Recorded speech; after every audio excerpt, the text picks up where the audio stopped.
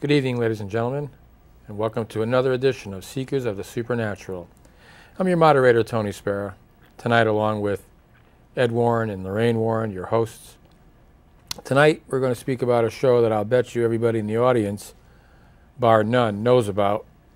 It's a show about a place in Long Island, Amityville, Long Island.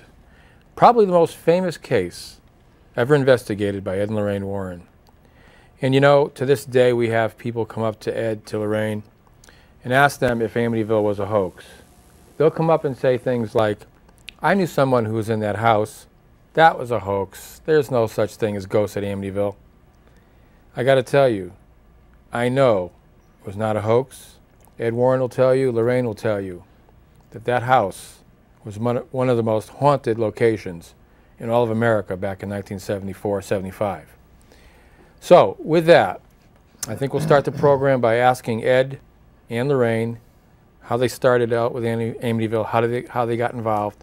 So, Ed, can you please tell us how you got involved the first instance? Yeah. Well, of course, we were called by um, Marvin Scott, who was the anchorman for Channel 5 at the time. But we had met Marvin about a year earlier at a haunted church in New Jersey. Mm-hmm. And he was impressed by our investigation, and we had not heard about the killings in Amityville because Lorraine and I were out of the country at the time.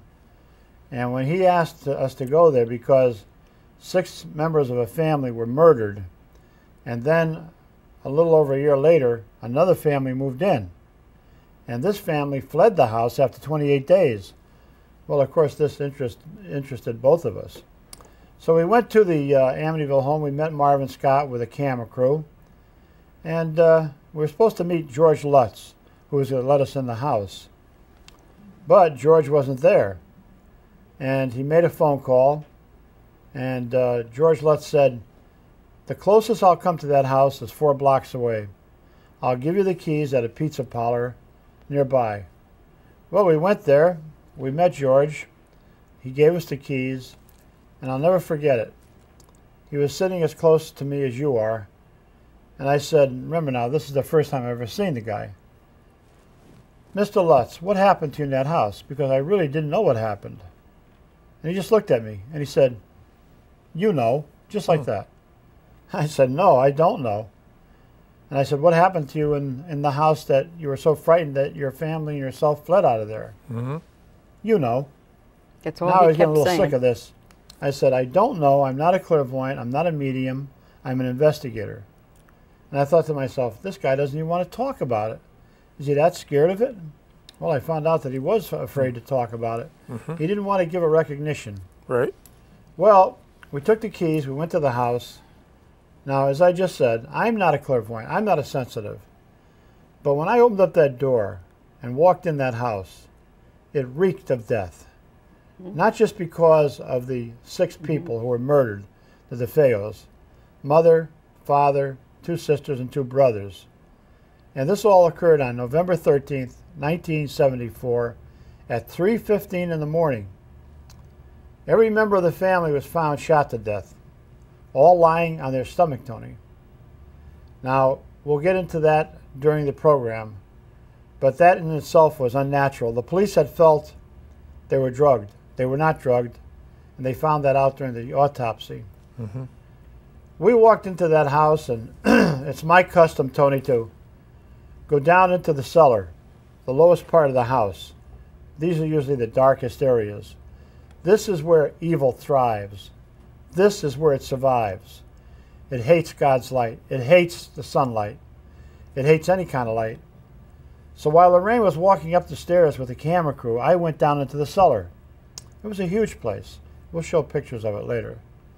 And uh, as is my custom as a religious demonologist, I took out a crucifix, I held it up, and I commanded in the name of Jesus Christ and the blood of Christ what was there to reveal itself. It wasted no time.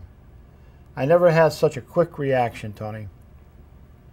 I felt as though I was underneath a waterfall. That's how, how terrific the pressure was on my head and shoulders, forcing me down to the floor. Then I felt what I can only describe as hundreds of pinpoints of electricity hitting my body. And as though somebody had taken a hot towel and dropped it over my face, I couldn't breathe. I knew what was happening immediately. I felt it before, but not to that extent. Mm-hmm.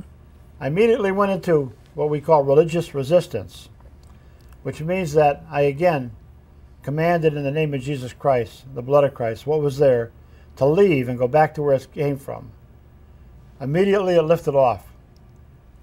I went up the stairs to where Lorraine and the camera crew were, and she'll tell you what she felt there. Well, now I had no way of knowing, Tony, since I was walk. They asked me to go up onto the next floor. Mm-hmm. I had just left walking all around on the first floor.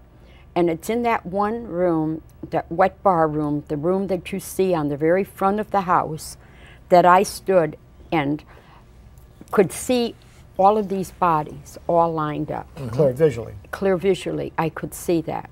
That's where the DeFeos were prior to being taken out, you know, to the morgue. And that was that was horribly disturbing.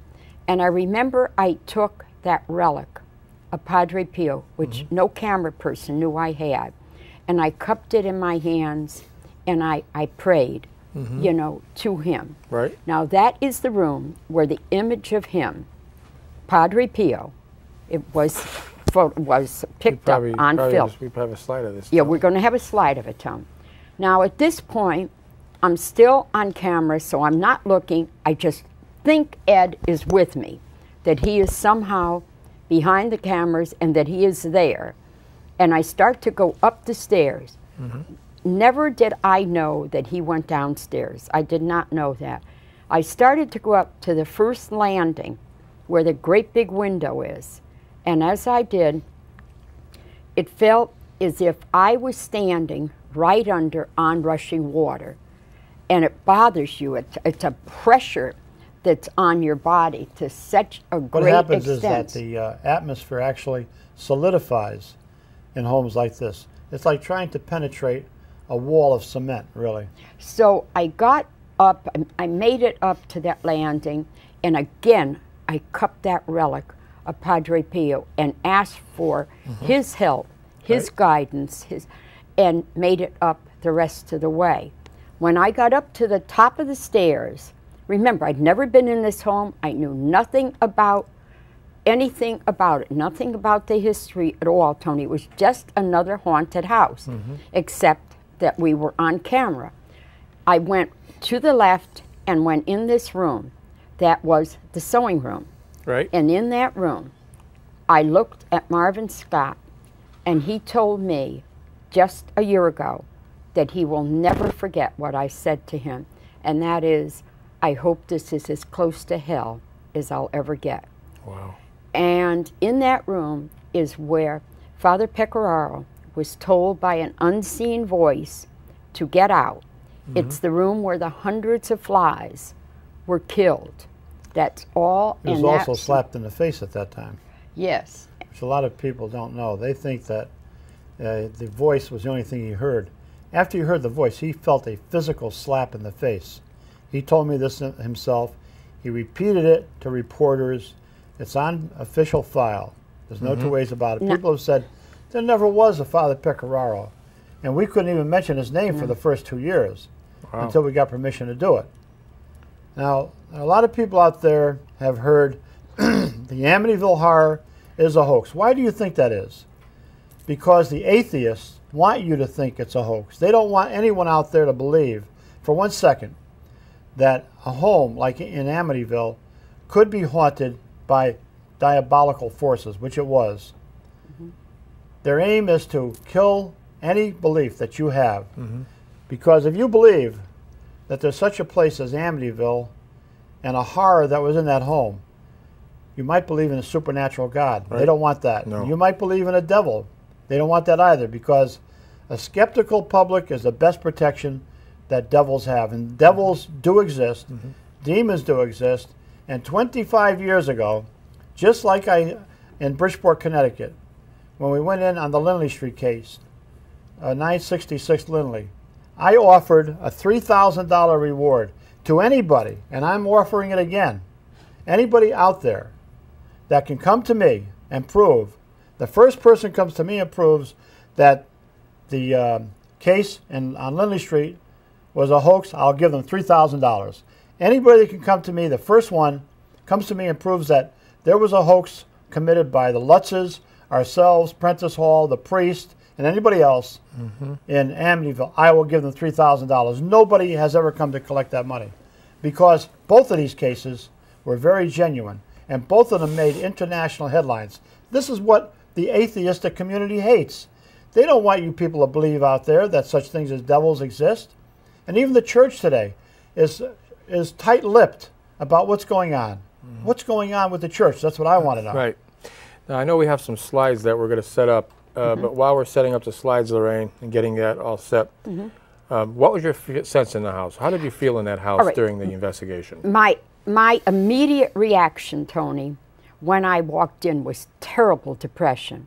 You're in a home where so many people had died Yeah. violently. Then an, a young family had moved in and they fled, leaving everything. You look all over, Tony, and it's like you're in somebody's home that they just walked out of or going to the store and they're coming back. And it's it was just overwhelming feeling of depression. everything was intact. Everything. Uh-huh. Clothing in, in the closets, the dishes, the pans, cookware, everything you could, just like you have in your home right now. They left it. They wouldn't take one thing because the priest told them not to take anything out of there with them. Oh, okay. All right. Yeah, he told them not to take. I think the slides are almost ready. Now, if we can go to the slides, Ed, did you want to talk and tell us what we're seeing on the slides? Yeah. Um, I think we're going to go to the first one now. As soon as we get to camera one, we'll, uh, I think it's just going to be a slide of the. uh, Okay? That's That, ev- of course, is a sign of Amityville. And Amityville means friendly village, you know. Oh, it does? Yeah. Maybe that. And do you know what the uh, latitude of that is? no. forty point six six six. Really? 40.666. right where the house is. Oh. Mm-hmm. Next. Okay, That's the that's, the, home. house as it looked at the time of our investigation, of course. Mm -hmm. Now it's been changed around. Oh yeah. I guess the people, uh, the guy that owns it doesn't want to be bothered, and I don't blame him. Because there are vandals who create a lot of nuisance. But you see, where that car is parked, People magazine reporters also parked their car there. The Cromarty family, who bought the house after the Lutzes fled, from what I understand, there was a deal made with American International Pictures to sell that house for $250,000 to them so they could use it in a movie which was to be made. Well, of course, American International Pictures was not allowed to film there because of the town fathers or the neighbors, and they got stuck with a pig in a poke. And they claimed that it was a beautiful house. Nothing ever happened to that house. There was nothing but good feelings in there. How could you have good feelings in a house where six people were murdered Yeah, and five people fled? How could you have good feelings? You couldn't. No. But they got into that car there, their car. It burst into flames. When they were walking around in the house, they could smell this foul odor. And they said to Mrs. Cromarty, What's that stench that we smell? Oh, I dropped coffee on the rug about a week ago. You should never drink that kind of coffee, believe me. No. What's the next slide we have, Ed? What's uh, George and Kathy there's Lutz. George now, not too Kathy. many people have seen photographs of George and Kathy. You look at that guy. Does he look like the kind of a guy that would run away from nothing? Does he look like some kind of a wimp? No, he does not. And this man and his wife had spent all of their down payment that they got from Kathy's home that she sold and money he had from his business, put it into that house. 28 days later, they're going to flee that and leave everything behind with all their earthly oh, belongings. no, that's- this guy was an ex-marine. He was a black belt in karate. He hung around with motorcycle gangs. Hey, this guy doesn't run easy, He believe doesn't me. scare easily. No way. he doesn't scare easily. There's George, happier That's- days when they first moved in. They bought the house, you know, on the Amityville River for fifty thousand dollars. Pretty good price. That was some buy. was that a lot of money back then, though? It had a pool. N- oh, that yes. It was? No, no, no. It wasn't a lot. No, you, you mean this to buy a house on the river? Oh no, Tony. Probably would should have been more. Who would Oh, buy a house? Who, except George said, When the dead are dead, that's it. They don't bother you. I mean, it was a lot of money, Tony, but it But wasn't enough for that house. Yeah, because it had everything. George was an atheist, you know. Yeah. Today he's a devout Catholic. Oh, He's a, he- he's, he, he uh, attends church daily, and his That's- wife. There's Kathy. There's Kathy in Happier Days. She was a waitress at that time, Yeah. and uh, this was to be their dream house. You know, Right. this is what they saved for. This is what they wanted. right. They were newly married. The three children, of course, were Kathy's, but George uh, treated them like his own children. Oh, he did. He was very good to the children. And Yeah. there's statues. Now here's here's my argument right here, ladies and gentlemen. Look at those statues. You know where they came from? Nope. Montreal, Canada, from Yeah. St. Joseph's Shrine. Okay, I heard of that. Mr. DeFeo, who was murdered, the man that was murdered in that house with his family, went six months before he was murdered up to Montreal, Canada, brought back a priest who was an exorcist to exorcise that home. Now, if that house wasn't haunted, why did he go up and get an exorcist? Why did he bring him back before the Lutzes ever lived there? Because that house was haunted. Yep. And those statues were specially made for him to surround his house with. And people said, what, What's this with Mr. DeFeo? He's not a religious person. What's all the statues? He said he had a, a, A, a devil, on, his, his back. back. Ooh. now, what he was talking about, of course, was his son. Yeah. His son, who he felt did probably come under oppression and possession at times, was into the black arts, was on drugs, and who eventually murdered every one of them. So that's what those statues are about. Okay, next. And here There you have is. the Amityville River. Look at that property. Okay, look at the Tony. boathouse. There's the house in the background. Fifty thousand dollars, ladies and gentlemen. That'd be like five hundred thousand dollars. That's more right, Than that. more Oh, than yeah. that on the Amityville Oh, yeah. River. But look at the boathouse. That's, That's, the where boathouse in the background. the, an Indian tribe had kept prisoners, dying prisoners, went mad, starving, and you know tragedies like this draw inhuman or diabolical spirits mm-hmm. because they love to see human misery, human tragedy, and I believe that's where it all started. But George also had a brand new uh, boat in there, brand new, with five hundred dollars worth of tools that he left behind. And his motorcycles. Two motorcycles, custom made. Wow. A man like that doesn't leave all that no, behind. absolutely not. Look at It's at how kitchen, look how right? it looked, Tony. That's the kitchen. In other words, the plants are there where she had watered them and left them on the counter Yep. to drain. Mm-hmm. The dishes from supper are right in the sink. Wow. That- and they were just like that when you went in to Yes, investigate later. exactly, just exactly that way, Tony. They fled that house. Oh, yeah. They were That's- frightened. Just exactly We've that seen- way. Hundreds of other people just like them. This is nothing new to Lorraine and I. You know, for every Amityville that gets publicized, like the Smurl family, the um, Gooden family, there's 500 that never reach the public. Oh yeah. So this here is not unusual to And see homes Tony, like this flood. I remember these bolts of Now, who- material. who's that in the middle? Me? That's Jim Brolin. I know. I know. I'm just saying yeah, that. that's James Ji- Brolin. That. And that's you, and who that's his wife next to him? No, that's uh, a girl that he had just met, and they were dating at that time. He was leaving, we were leaving that day for Australia, Ed and I, and he was leaving the next day, and he wanted so bad to go with us, but they couldn't change the flights. Well, you know what he told us? He would go over to the Amityville home he'd park out in front and he'd look at the house and he thought, I'd like to go over and knock on the door and see if I get in. But then again, he said, No, I'm not going in there. He wouldn't go in because he was frightened. He was, pr- uh, yeah, he didn't want to subject himself to that. What a wonderful Nice person guy. he was. He's a nice guy. Oh, nice, nice person. Really like- nice like guy. Very, m- very nice guy. Now, what's that? Now, uh, that's the two camera guys? cameramen that came in. Both of these men knew combat assignments, Tony, both of them. They had such severe heart palpitations Most in of the men that- did. in that house that they got down on their knees on the floor in, in the house. Mm-hmm. And it was it was just unbelievable. Do you know, Tony, that all of the men, all of the men, men, not women, Yeah. all of the men mm-hmm. going into that house have all died of heart related problems. Except Ed. Ex- uh, And Ed had a heart attack right, you know, sometime after going in the house. Now these Well, no, not all of the men, Lorraine. You- Yes, they did. Kaplan's still alive, isn't he? The one Kaplan No. What was his name? Marvin not Scott. Kaplan. Marvin Scott, Scott's still yeah, alive. Marvin Scott is still alive, but the principal people involved in the But most of them are investigation, dead. yes, most Okay. of them are dead of a heart attack because it's the media that did that check for us. That's Marvin Scott right there, That's isn't it? Marvin? Scott right there. That's Dr. Brian Riley sitting next to me, a parapsychologist from England. That's his wife, Alberta, uh, that you can see just behind Marvin. That's during the period of time of, of um, the communication in that house. That was a horribly dangerous home. Now, this is Dr. Karlis Osis, president of the American Society for Psychic Research.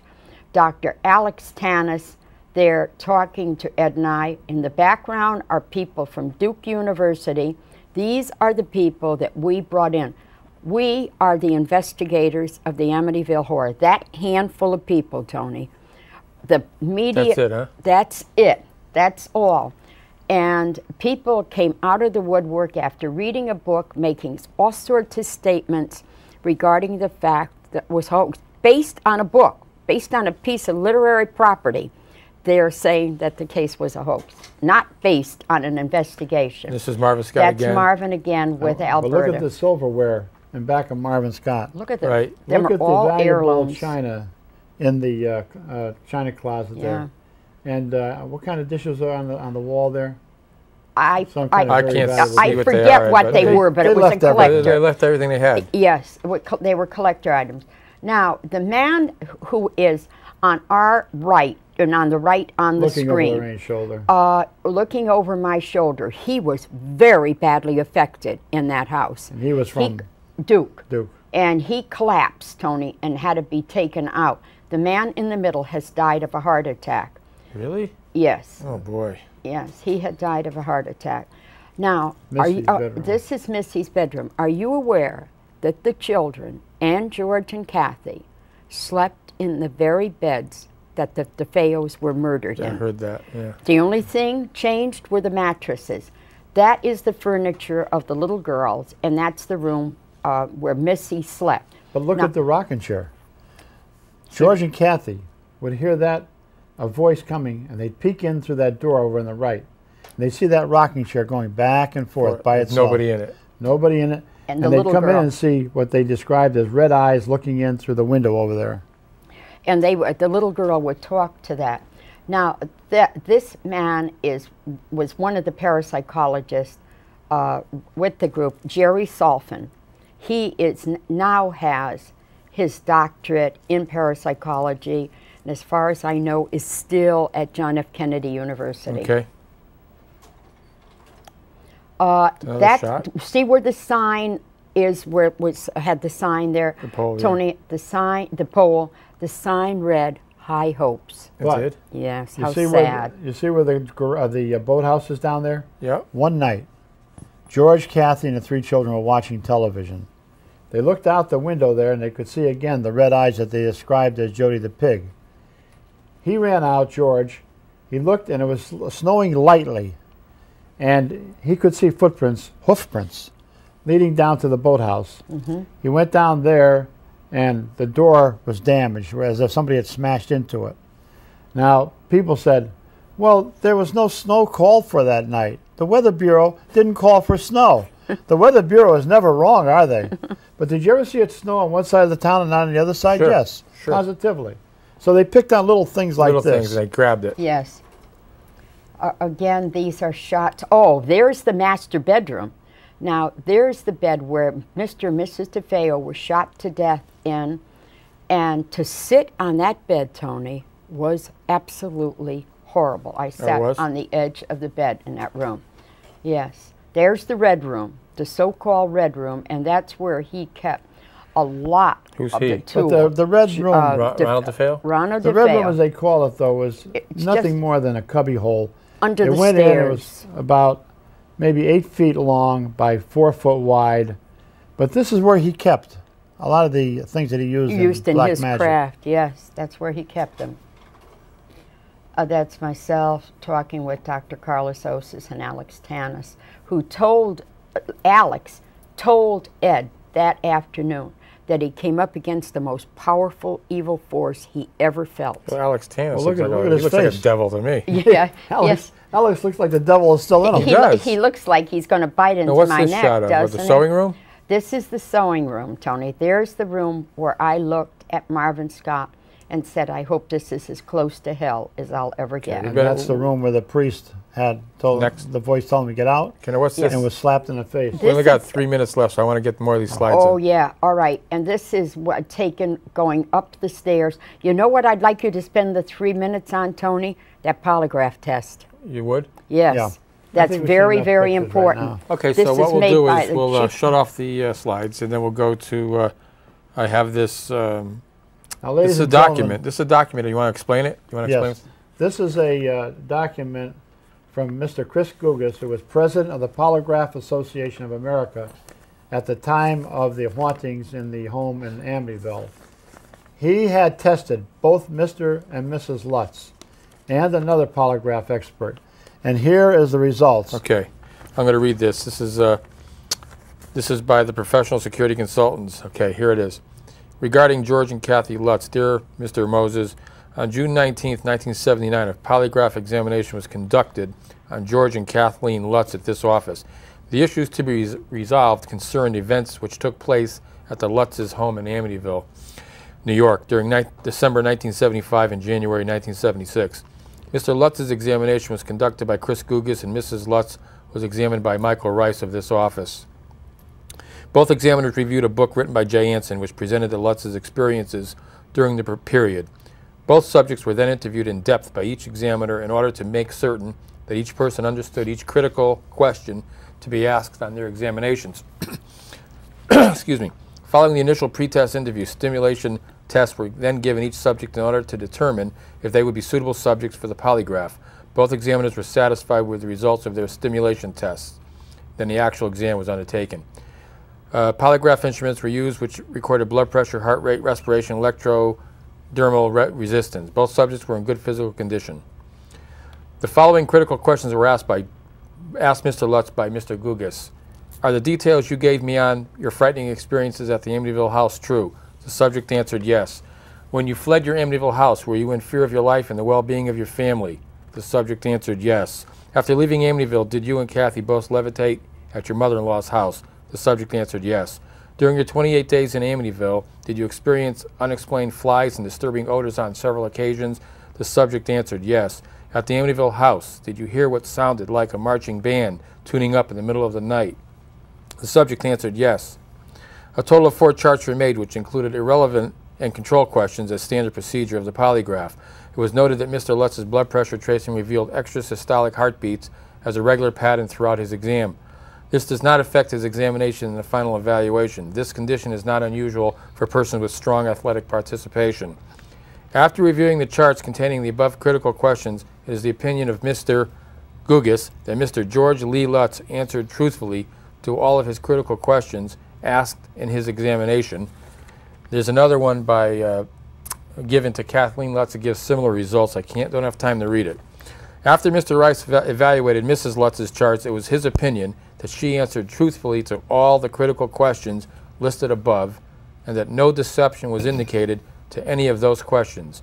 Respectfully submitted, Chris Gugas, polygraph examiner, member American Polygraph Association, Michael Rice, who did Mrs. Lutz, uh, polygraph examiner of the California Academy of Polygraph Science. This is a, a document, personal and confidential, that was uh, obtained by Ed and Lorraine Warren. So it's not a hoax. No. It was No what? On way. a scale of 1 No. to 10, we don't have Remember, time. my offer still goes. On a s- Anybody out there says Amityville's a hoax can prove it to me. Come to me. I'll give you three thousand dollars. The first person that comes right to me. There you have it. 3000 bucks to anybody who can prove Amityville's a hoax. For Ed Warren, for Lorraine Warren, I'm Tony Spera. Thanks and good night. Good night. I think that uh, Yeah, it was Strong. nobody's going to Yeah.